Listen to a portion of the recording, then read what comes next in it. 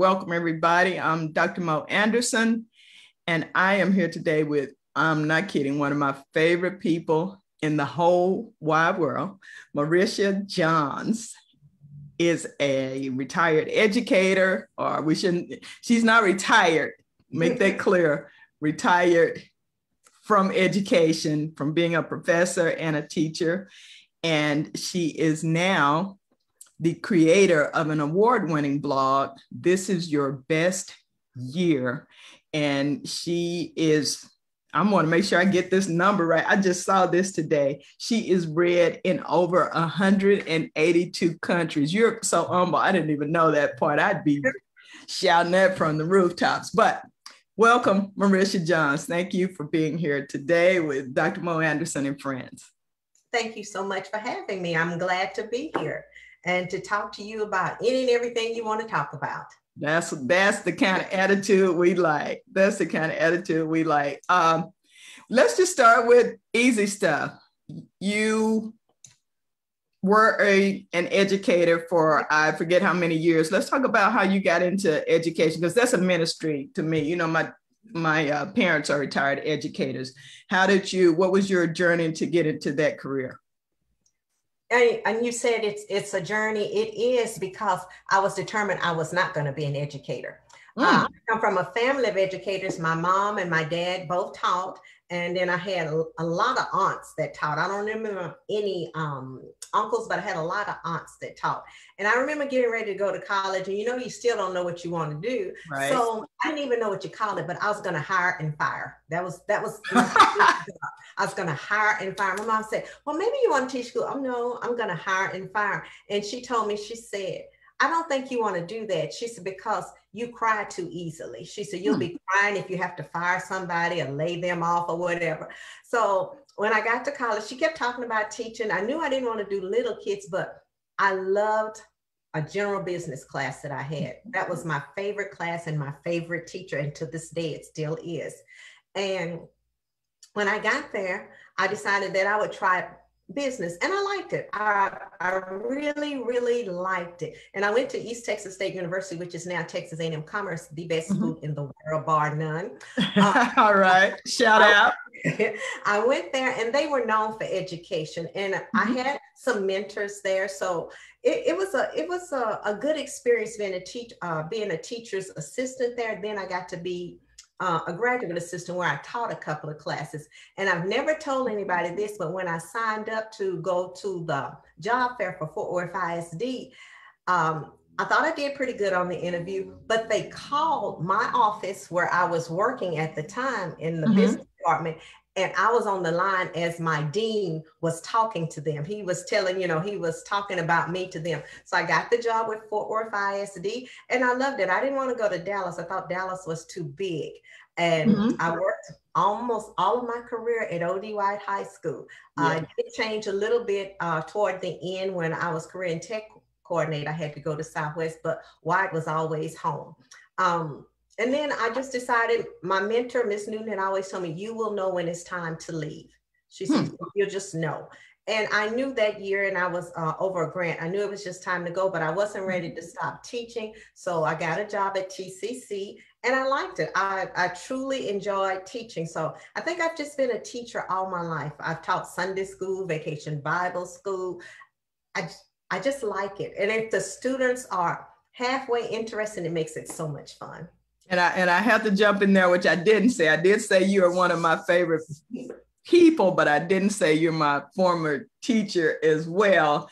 And uh, you know, for me, I just kind of went through education checking boxes, but there were some people that could not be confined to a box, and you definitely had a big impact on me. And you're still a beautiful person, but I do remember you were quite young, I think just out of college when you came to ODY, and all the boys, we couldn't get their attention.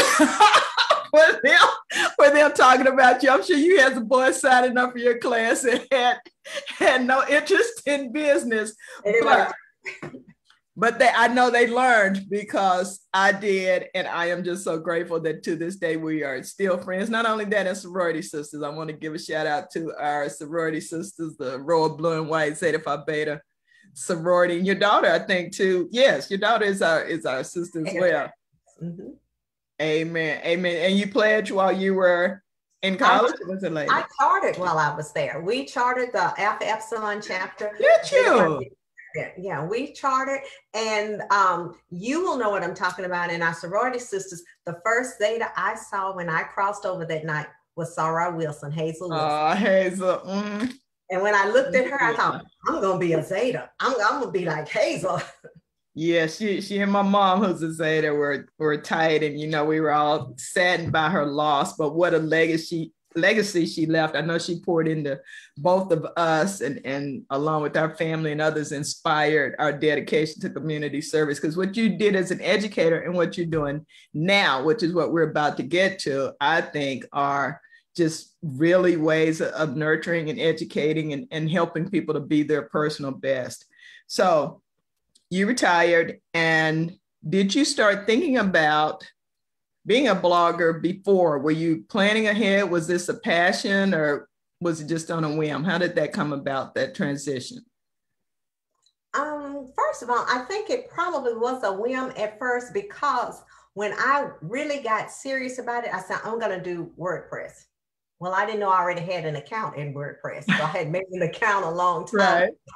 I, I, was trying to just, you know, find my way. I like to write, but I knew I couldn't be a serious journalist. That wasn't me. Mm-hmm. And um, I like the idea of blogging because there's so many different ones out there. You can right. you can find something about anything.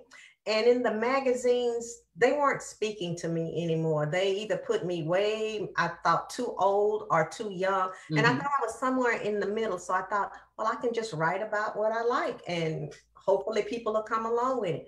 And that's what I did. And you do it well. And our topic for today is, is second act, mm-hmm. which uh, generally that torn, term was coined to talk about people who are retired, semi retired, and now looking to start a new career because, I mean, you know 40 50 60 70 now retirement is not the same as it has been in the past people are still very uh, vibrant, energetic. No shade on people in the past, but you know, 40 is not the new uh, 50 is not the new 40 but it's not the old 50 either you know? So i'm a grandmother of three. I know you're a grandmother but i still was out you know at mm-hmm. mario andretti driving race cars a couple of weeks ago. So there's a lot there. There's the wisdom that you gain. There's the network that you have and you transition into something that even though you weren't trained in it traditionally i suspect you had a lot of passion for like you said for writing for sharing. And now you found a way to make it to make it spread all over the world as a matter of fact. How did you first learn about blogging? I'm to ask two questions in one so you could just talk. How did you learn about blogging as a business? And then how did you market it? Because as i said you're award winning you're read all over those are two different things but if you can answer both those questions for me i'd be interested to know. Um, i learned about blogging um, just by chance. I you know how you just started to read certain things and you're just kind of skimming through the internet and you're just going around and then certain certain blogs start catching my attention. And they wouldn't be long posts. They may not post but once a week. Sometimes they didn't even post uh, uh, once a week. And I'd be interested in what they were talking about. It could be a, it was started out like with food and then it went to maybe clothing. It mm-hmm. I talked about, they said some that talked about retirement. There was always some about beauty or whatever, but I like the ones about life. And it was from their perspective. So they had gone out and done some things. Mm-hmm. And I, I like that idea. And as a business, as you continue to read, looks like your favorite bloggers, they some of them get bigger and bigger, and some of them will even tell you about their business. Uh, one of my favorite one is uh, Black Girls Who Brunch. Mm-hmm, I, I like that one. Yeah. And, and I like her, and I, I follow her on every social media that she has. But she's very giving you know mm-hmm. and when i say giving she's very giving and giving out advice to people right. who might not know and um i'm one of those people i will ask Mm-hmm. I, I, will ask, you know, can I do this? Can I do this? How did you do this? How did you do that? Uh, so I think that's the teacher in, my, in me. I'm very inquisitive. So I mm-hmm. learned about the business part through them and how to write a blog. You know, and some people, it's sort of like a novel. Uh, you, you're the author, you're the writer, but you know, just personally, if you're going to read somebody, mm-hmm. it's a certain one you like. It's right. a way they write. There are some people that, that you know, that they're very good writers, but they don't catch your interest. Mm-hmm. So that's the way I was about blog. And I've, I've grown up with some of them. You know, I've been following them for six, seven, eight years. And then I get some new ones and I may have to, you know, go off. And then a lot of them quit, you know. So it's it's right. it's it's a journey. Or, or, take a hiatus like like me you just get mm-hmm. spread thin and you just mm-hmm. turn your focus somewhere else for a while you mentioned that uh you mentioned one blog that you like in particular are there any other uh, bloggers that are favorites and why? Um, this is gonna this is gonna show my age, but I love all of those with AARP because they, oh, they're good, yeah.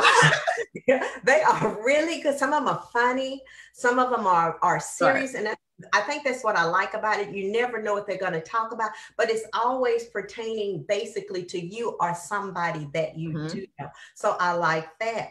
Um, and when you have time, I like reading yours, but I understand you have other things that you have to do. Thank you. Um, there are some um, some entertainment blogs that I read, but I'm not that serious about them. But yeah, the AARP blogs, they I, I really like them.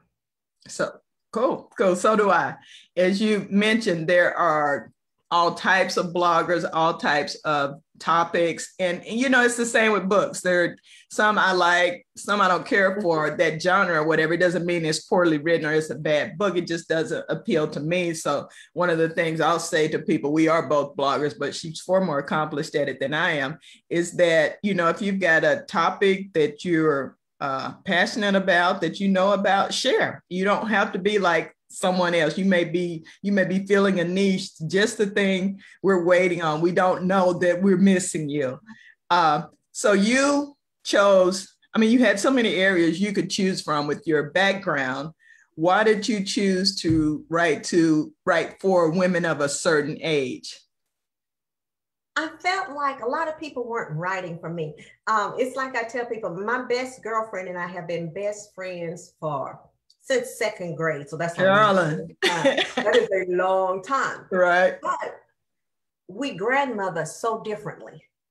Know, she'll say, she'll she'll say, um, he's gonna spend the night. He doesn't want to go home. We just think we'll keep him. And I'm going like, no, no, he's going home. That's me, right? Where are y'all? yeah. Wonderful parents. He is going home. But I try to make every every time he comes special. We mm-hmm. try to do something special. I tell everybody, if you want to be a rocking grandma, that's you. If you don't, that's that's okay. Mm-hmm. Everything is different. If you want to continue to work, it's okay. Right, right. If you don't want to work, it's okay. If you want to let your hair go gray, it's okay. If you want to do it purple, it's okay. We mm-hmm. are not our mothers, and our mothers were not their mothers. So right. I couldn't find that. I found a little bit more of it as time has gone on, but I couldn't find that. I even wrote some magazines one time and told them I was still trying to take the, the printed magazine. I said, mm-hmm. but you've aged me out of it. Mm-hmm. You know, you've aged me out of it, or either you've you've either put me way too young or way too old. I'm right. somewhere in the middle, and it depends on what what time of day I wake up, or mm-hmm. you know how much sleep I got, or how I'm gonna look. You know, so right. Right. And that's that's that's a good point that you make is that people, you know, that okay, boomer and this in our generation, we are still, and we should not forget, we are the second largest generation, uh, you know, after millennials, but our cohort is powerful when it comes to lobbying, when it comes to purchasing power, uh, when it comes to movie watching and that does bother me when i go to look for something and there's it's, it's like being a person of color and then i see no one like me. All i see is a bunch of you know older men harrison ford with children with you know young young girls who are like they're 15 16 years old. I don't want to see that. Now you show me meryl streep. Yeah, I'm I'm enthralled. So I'm glad that you are speaking to my generation. I very much enjoy um, that you share too about places to go and things to do because I'm not on here all the time looking at every post and following every stream. So that's that's a great thing that you cover as well. And we have to realize that, that that we're all different. We have to take care of ourselves. But like you said, we're the second biggest population. We're still exercising, we're still mm-hmm. in the health, you know, but we have to do things differently. It's like you cannot pay me to do a burpee now. You just my knees, my knees. yes. I'm just not, you know, and I'm I'm old enough now to tell her I'm not doing that. I'm mm-hmm. just I'm just not going to do that. We we need to find something else to do. But you know, even the advertisers realize now that we we have a spendable income that we mm-hmm. can spend on. They there are some people that probably will never retire from their jobs. You know, they right. they just like working. But then there are those that are going to travel the world. For for those who do want to retire and are thinking, you know what, I or they've retired and they're thinking, you know what, I have ridden around in the RV. We've been to some different countries, or I've fished for so many days. I want to do something else. I realize I still have the energy and interest in a career or in helping someone. What would you say would be some generic initial steps that they should take in investigating, trying to decide what's next? First of all, I would tell them now is the probably the best time when you're thinking about retiring or when you have a disposable income because I, I always get tickled and I still love Oprah, but Oprah would always say, you should do your passion. You right. should do your passion. But I would always tell my students, sometimes your passion has to become your hobby until you can pay your bills. And so as you know, as we move on, we a lot, a lot of people are downsizing, they're getting rid of their houses, going right. smaller. Mm-hmm. Um, they you don't buy as many clothes because you're not going that many places, or you don't care. You get to the point where this, this it. I am who I am. And right. like it, you know, I'm not, I'm not here for you. I think you mm-hmm. should investigate. It's sort of like when you were in high school.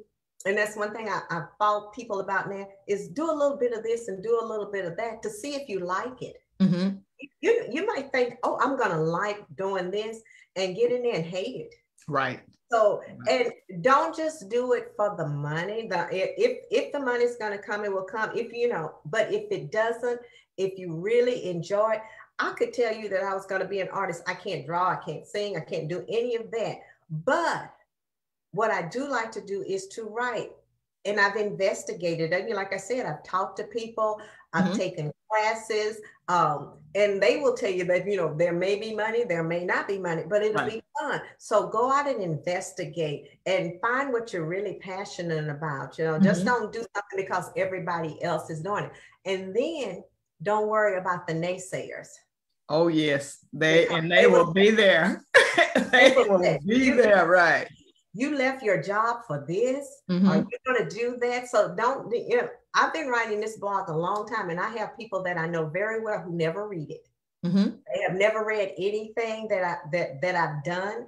Uh, even when I was writing for my hometown paper or the Fort Worth Black News, and I have to give shout out to Jill Darden because she's hey, the Jill. one that let me write anything. Um, but they never read it. But they would right. tell you about other people that they read. So you don't do you don't worry about the naysayers. You right. you prop yourself on the back, you pat yourself on the back and keep going.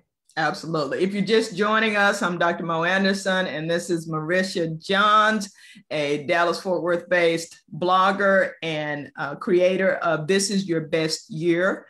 We have a question for you. Timothy Kinney wants to know how to contact you. Ha- i have your website, but if you want to tell them about your website and social media, how they can find you, and we'll get back to the interview. Okay, you can find me at www.thisisYourBestYear.com. And this is your best year is written just like it is on the screen, just one word. Or you can go to our Facebook page. We have a Facebook page, and it's This Is Your Best Year. Uh, you can go to Instagram, This Is Your Best Year also. And we have a YouTube channel, which is also This Is Your Best Year. So either one of those, you can contact us and we'll get back in touch with you. Thank and you. I- I just dropped that in the comments for you guys. Great question. Thank you. And that's on me. I should have said that as, as part of our introduction. I normally give the website. I'm just so excited. And uh, for me, uh, drmoanderson.com, you're on my Facebook page, but uh, you can contact me that way as well because I'm looking for more interesting guests. You are actually uh, my live webinars have all been for my nonprofit, Drop the Drugs. So you are actually my first guest for this series, Dr. Mo and Friends. So my inaugural guest. I'm excited to uh, to have you. And, and I just want to, before I go to the next question, what you said in regards to people uh, not reading your blog. You know, I've had retail business, my practice. I'm now writing shameless plug over my uh, over my shoulder here of my latest book.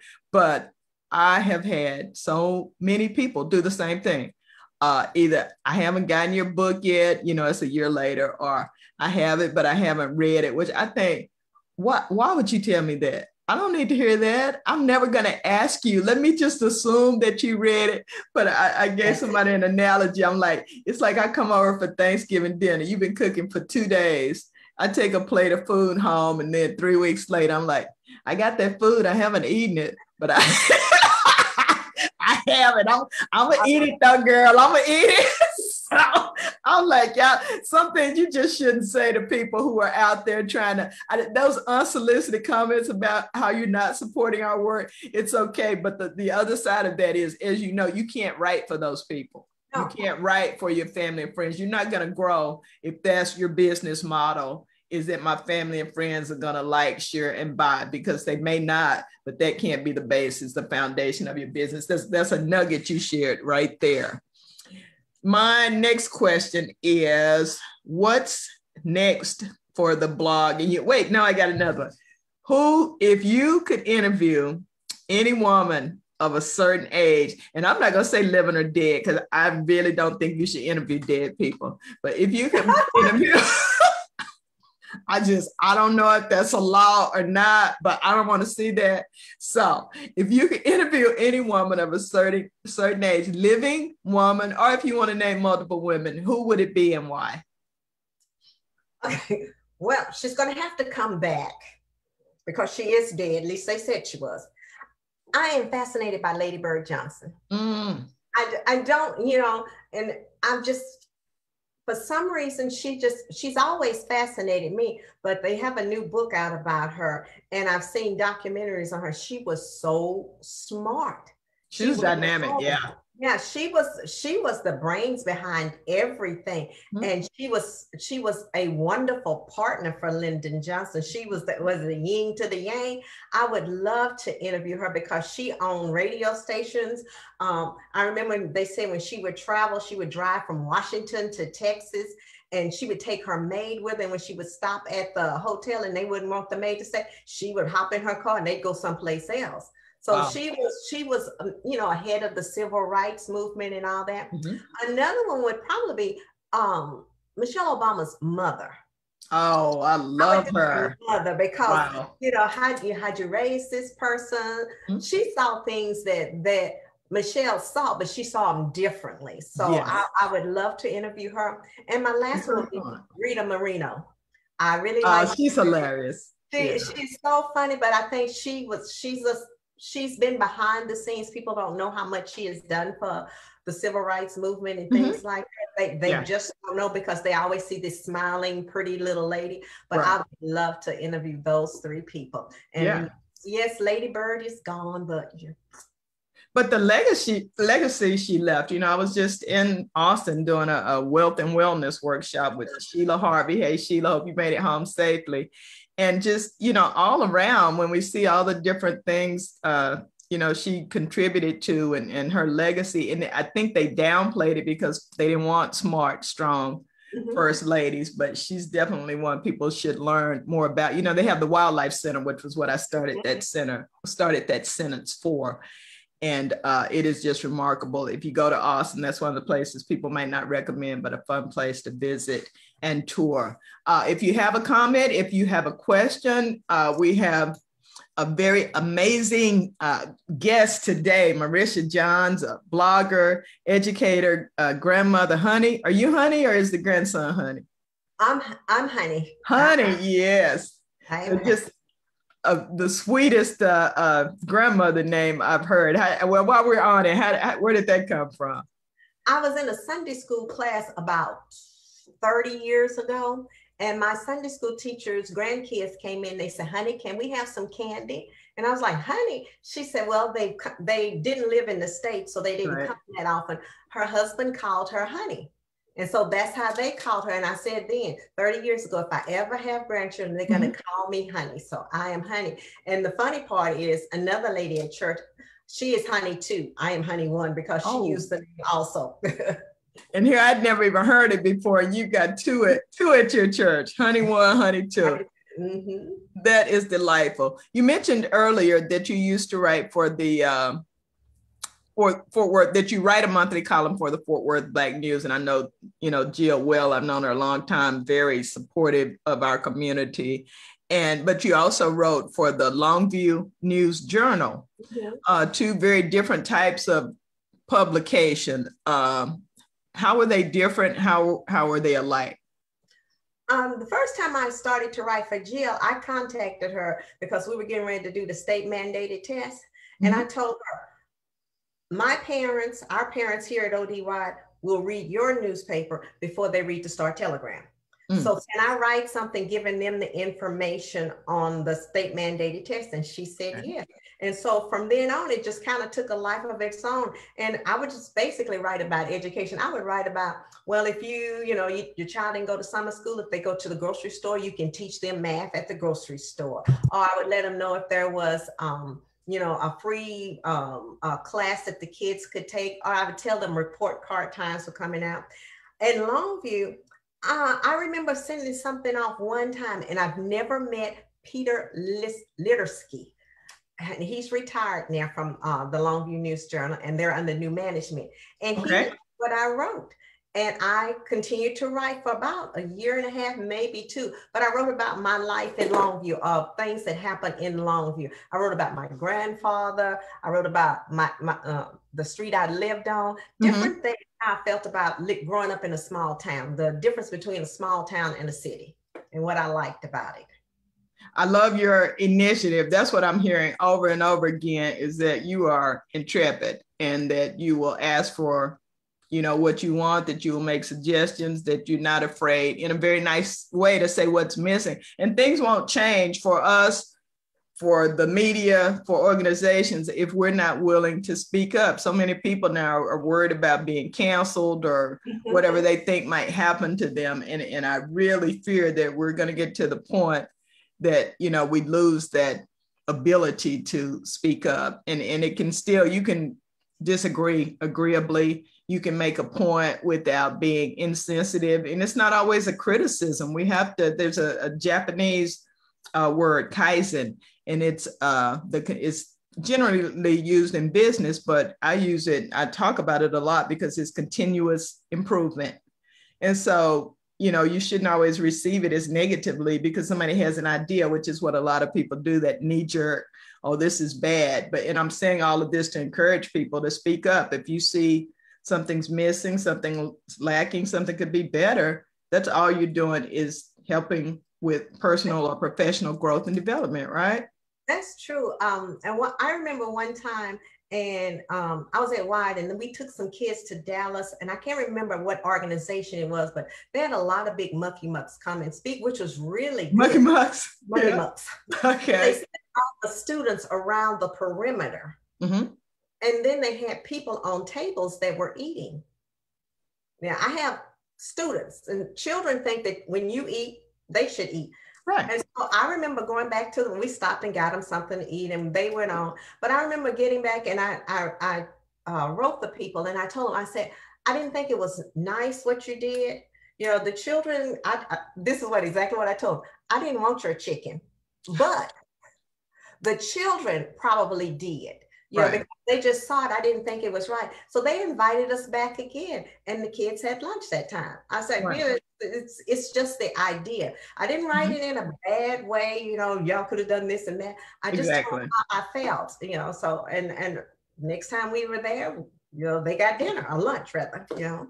Right. And you get you gave time for it to process and didn't immediately assume that they were being disparaging, that they did it on purpose. Sometimes people There's are just around. right, right. Just blinders on. They're just not thinking, and you brought it to their attention. Kudos to you. You've always been a great advocate for your students. Um, what's next for the blog? Where are you where are you taking it next? It's gone a long way, but I want to hear what's ahead. Um and while you're I, thinking, you guys who are watching, if you've got a question for her, if you've got a comment, uh, feel free to drop it in the comments. I'll let her know. And also, if you just like what we're doing here, keep those thumbs up and hearts coming because I, I just really admire this woman and I appreciate her time. And I hope you're enjoying what she's sharing as well. But we're happy to entertain questions. So feel free to drop your questions in the chat box. I think what's next is I'm going to make the blog better. I'm going to stick with the blog. I'm not going to spread myself too thin. Uh, you know, they now having some more social media. I'm a I'm a, a organization of one, sometimes two. Understood. You know, right. Two. So I have to kind of pick and choose.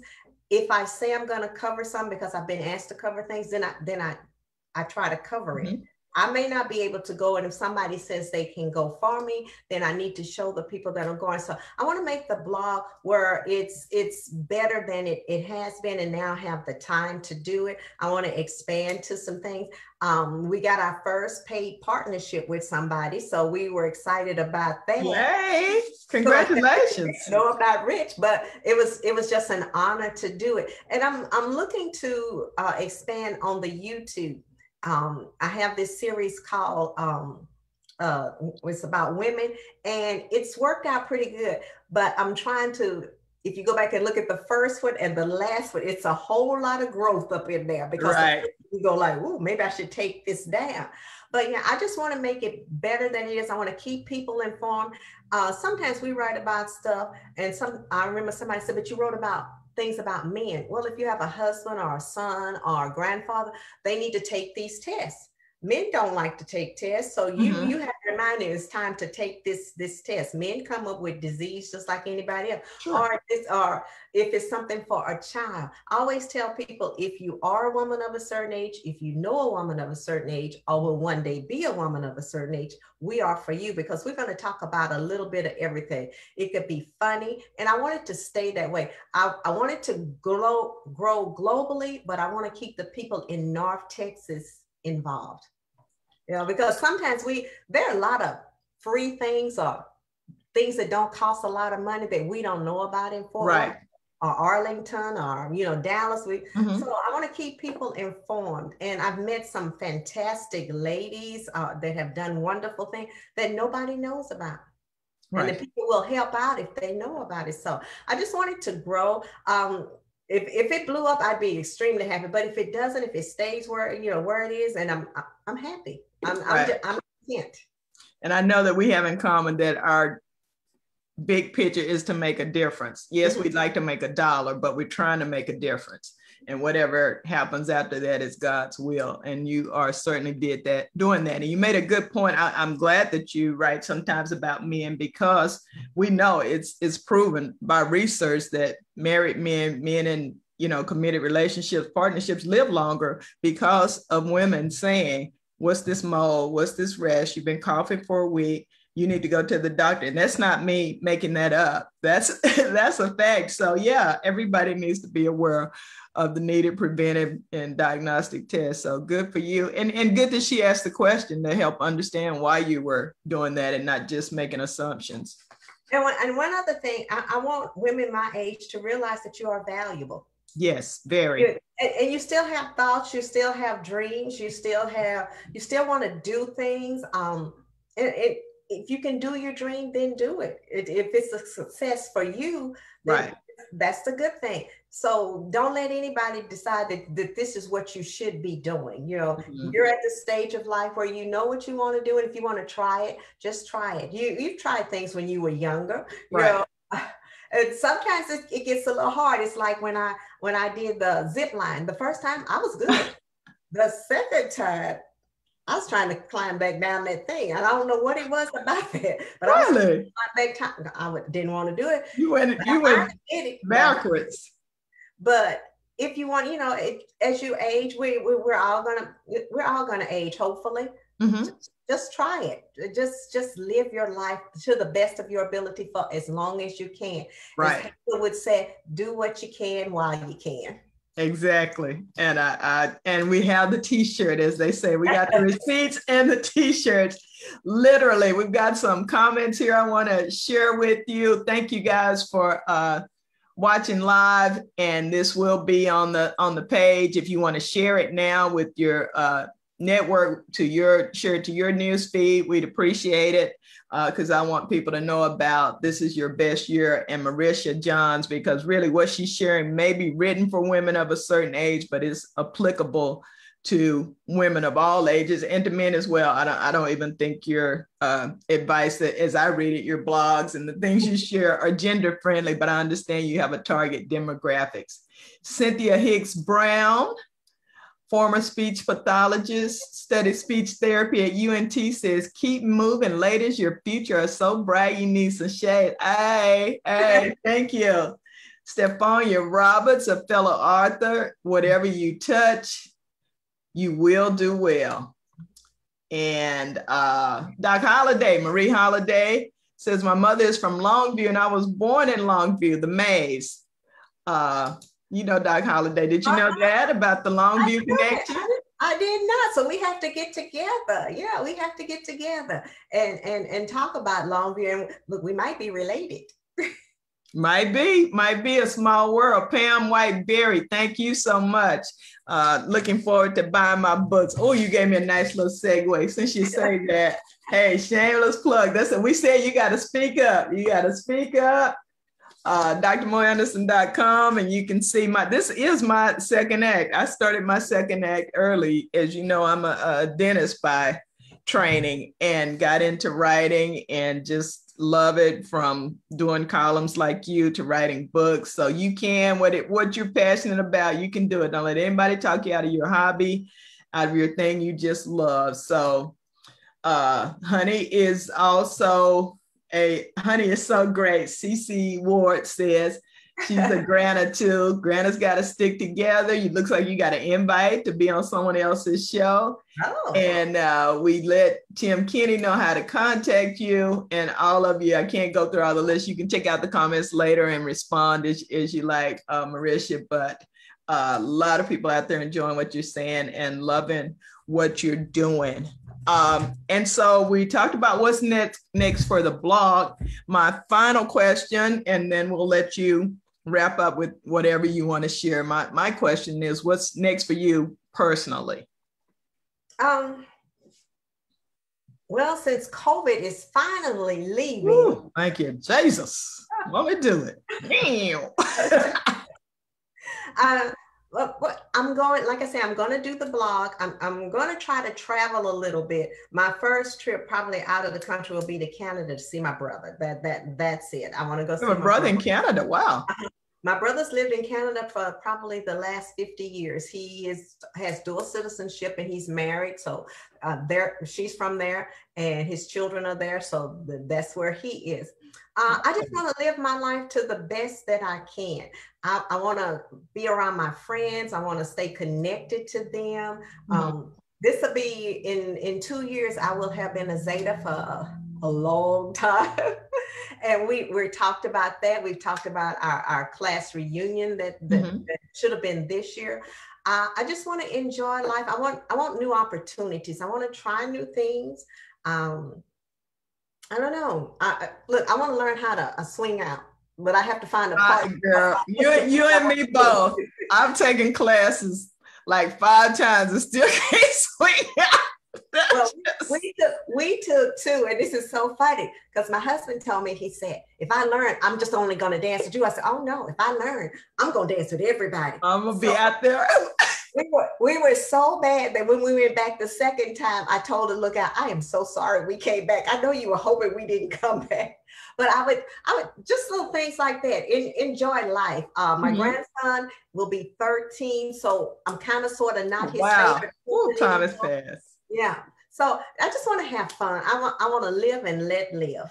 I want to hang out with you and we can go yeah. back to New York. And we got we got makeup boule coming up. Oh, that was fun. That trip we took to New York. Oh my goodness, that was a good time. Yeah, yeah. There's there's there is a lot to look forward to, and there's a lot going on. There's still a lot going on. COVID is not over. We recognize that, and a lot of people have been in difficult places, uh, you know, employment wise and, and just being laid off and businesses closing, which is why, you know, I wanted to broach this subject of a second act, starting another career, turning your passion into profit. You've got expertise in it. And I think it can be helpful to a lot of people. And, you know, when you start something new too and, and start those cognitive processes of learning new things and watching YouTube videos and doing the research, it really does affect your physiology. You just get a whole different look on life. You just feel better. You're excited to get up. And that's the joy that you have. And that's the joy that I want for everyone that inner peace and that optimism to get us through you know there's always going to be tough times but if you have that you'll have something to look forward to i will give you a final opportunity to share if there's anything i haven't covered. Uh, we do have a person who wants to swing out too but i don't think that's a question but all right ruby if we get a class going i'm going to find you on here. So that resonated with some other non-swinger outers. Non-swinger outers. Um, but to wrap it up, I just want to tell people try something new do what you mm. want to do if it doesn't hurt anybody do what you want to do because life is so short it is right. so short um, we've all lost people to covid mm. You know, um, I was looking on Facebook, and it's not my class, but a couple of classes ahead of me in my hometown. They put people up there. I, I know they had less than 200 people in their class. They've lost 60 something classmates. So oh life is so, is so short. You you never know from one day to the next. And what you know, saying I wish I had, and you had the opportunity to do it. So so go for it and and have a good time. Be thank God for life continue to pray, lift everybody up, and go and have a good time because this is your best year. You never know what the next year is going to be. So make this one your best year. Absolutely. Well said. I won't try to add to that. I want to thank you again, Maricia Johns, for joining us. An amazing um, entrepreneur, advocate, blogger right here in the Dallas Fort Worth area. If you haven't connected with her, her website is in the comments. This is yourbestyear.com. You can find her on, uh, from there, you can find the social media links, right? I think I saw those when I looked earlier today and connecting. You'll know what she's doing. You'll know what's going on in the Dallas Fort Worth area. We wish you the best, continued success with your journey and your goals, and we'll keep doing what you're doing. Very proud of you. And to all of you, Thanks for joining us. If you're watching this live or if you're listening to a replay or archive, you might be on the on my podcast or seeing this on YouTube. Like, share, comment. We appreciate you helping us spread the good news of the gospel of a second act. so we're signing out. Take care. Thank you so much. Bye bye.